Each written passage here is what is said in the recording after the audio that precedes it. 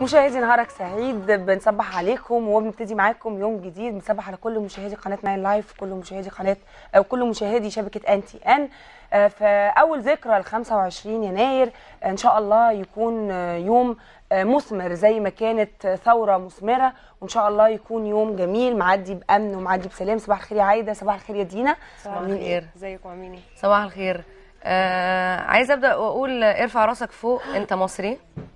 آه يمكن أنا بشتغل في الإعلام بقالي كتير جدا بس المرة دي يمكن يوم مختلف بالنسبة لي ومختلف بالنسبة لناس كتيرة قوي.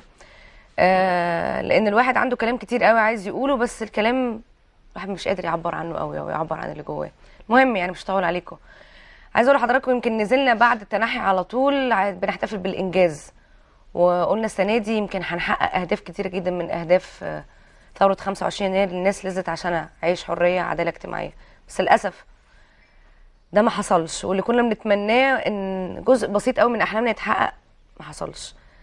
أنا بس أكتر حاجة صعبانة عليا واللي حصل للمواطن المصري من ضرب وسحل ومحاكمات عسكرية غير عادلة. وكمان اللي حصل للمواطنه المواطنة المصرية أو الست المصرية اللي هي خط أحمر لأي حد. من ضرب وسحل وتعرية قدام العالم كله. خلينا نقول يمكن ده ممكن يكون تخبط ممكن يكون عدم وجود رؤية سياسية بس ما تهيليش إن بعد النهارده أي مصري هيذكر عن أي تهاون هيحصل في أي حق في حق أي حد عشان كرامة المصري فوق كل شيء. و مرة تانية ارفع راسك فوق أنت مصري. صباح الحرية صباح التحرير صباح الأحرار صباح الحرائر. أه، بما إن دينا جابت سيرة المرأة ويمكن أول مرة كنا نسمع لفظ الحرائر أه، لأن هم فعلا خط أحمر. أه، خليني أقول إنه هبص على مش نص كوباية المليان بس هبص على شوية الحاجات المليانين اللي إحنا عشناهم السنة اللي فاتت. سنة طويلة عدت لسه حاجات كتيرة ما اتحققتش بس ما أقدرش أقول إن مفيش حاجة خالص اتحققت. بس لما نبص على الحاجات اللي اتحققت هنكتشف إن كلها اتحققت لما الشارع قرر إنه يحقق حاجات.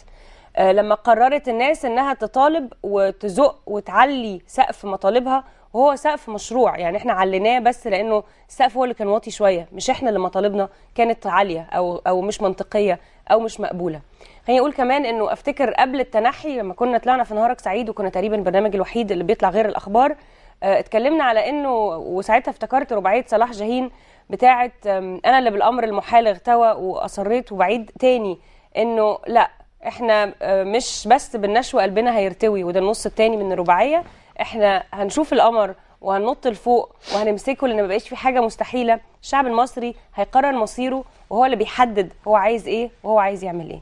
فصباح الحرية صباح السنة اللي عدت بكل مشاكلها وبكل إيجابياتها صباح السنة اللي جاية اللي أكيد الشعب المصري هيقرر مصيره وهيبقى في منتهى الحرية. صباح الحرية. آه، صباح الحرية فعلا يا عايده زي ما كنت بتقولي وأفتكر إنه آه، لازم نصبح على على الميدان ولازم نصبح على كل اللي في الميدان ولازم نصبح على كل الناس اللي اللي دفعت ثمن غالي قوي علشان النهارده إحنا نقدر نتكلم بالطريقة دي وعلشان النهارده إحنا نقدر نستمتع بكل حاجة هنستمتع بيها وإن شاء الله هنستمتع بحاجات كتير أكتر من كده. أفتكر إن النهارده الميدان هيبقى حيران ما بين استكمال وما بين احتفال ولكن في الآخر الهدف واحد وفي الآخر المطالب واحدة وفي الآخر المصريين كلهم عايزين حاجة واحدة. فأرجوكم خدوا بالكم منا وخدوا بالكم من مصر وخدوا بالكم من المصريين ومش عايزين ندفع دم تاني ومش عايزين دم تاني ابدا تحت أي ظرف من الظروف. وكفاية اللي حصل السنة اللي فاتت. وخلينا نبتدي بقى سنة جديدة وخليها تبقى ذكرى حلوة. أكيد هي مش هتبقى ذكرى حلوة لكل الناس لأنه آه، زي ما بيقولوا كده بالبلدي عندنا الضنا غالي قوي. فكل أخ وكل أخت وكل أم وكل أب فقد آه، جزء منه هو عمره ما هينساه وعمره ما هيفرح. بس بس أكيد هيبقى من حقه إن إحنا نعوضه عن كل اللي هو فقده وعن ابنه أو أخته أو أو أو أو جوزها أو هي اللي نزلوا وما رجعوش تاني. فأرجوكم خدوا بالكم من مصر وخدوا بالكم من المصريين. إحنا أمانة في إيديكم. آه، أهم ما حصل في ثورة 25 يناير هو كسر حاجز الخوف عند المصريين. ومفيش حاجة بترجع لورا مرة تانية. والعقارب الساعة زي ما بيقولوا ما بترجعش مرة تانية. فكسر حاجز الخوف ده حاجة كويسة جدا. طبعا. والتفاؤل موجود وأهم حاجة العدل. العدل ده لو اتحقق صدقوني الحياة هتبقى أحسن بكتير.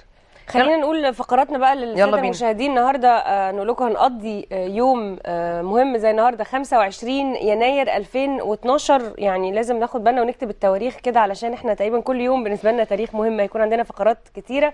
هيكون كمان عندنا من الفقرات اللي بعتقد إنه كل- كلنا تابعنا مجلس الشعب اليومين اللي فاتوا. يعني طبعاً. أنا عمري ما أنا كان وأنا صغيرة كانوا لما بيحبوا ينيموني وعندي طفلة شقية كده كانوا بيشغلوا مجلس الشعب عشان أنام وأريح يعني. كان كان حاجة بجد يعني بت- بتصيبني بالنوم.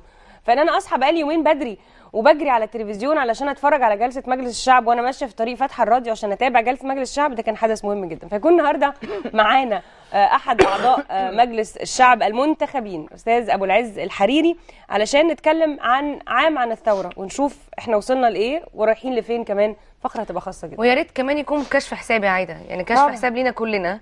آه نشوف عملنا إيه وعايزين نعمل إيه بعد كده غلطنا في إيه وعايزين نصححه إزاي بالظبط. لازم نتعلم حساب لينا. كلنا من إعلاميين لمصري كل كل كل قطاع المجتمع طبعا خلينا كمان يكون عندنا فقرة طبعا مع الصحفي المتميز محمد طلعت الهواري هيكون معانا في الاستوديو عشان نستعرض أهم أحداث وعناوين الصحف الرسمية ليوم 25 يناير. كمان هيكون معانا آه، فقرة كمان عن البرلمان وهيكون ضيفنا فيها آه، عضو مجلس الشعب الأستاذ مصطفى الجندي وهنتكلم معاه بشكل عام عن البرلمان هنتكلم معاه بشكل عام عن الثورة وعن الذكرى الأولى لثورة 25 يناير هيكون معانا كمان فقرة عن الأطفال وعن مشروع آه، أو فكرة جميلة جدا لتوثيق آه، ثورة 25 يناير وأفتكر إنه الأطفال هم اللي هيبتدوا بقى يعني أمل. الأمل وهم اللي هيبتدوا بقى يحصدوا كل اللي, اللي إن شاء الله هيتحقق واللي أكيد الناس. مش مش هتتنازل عن إنه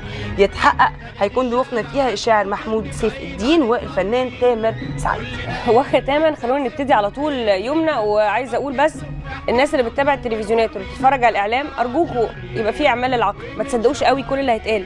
يعني اتفرجوا على كذا قناة ادخلوا على الإنترنت. بلاش ناخد المعلومات كده من حتة واحدة عشان ما يحصلش أي مشاكل وما يحصلش أي تغييب. أنا أناشد المواطنين الشرفاء وكل المواطنين.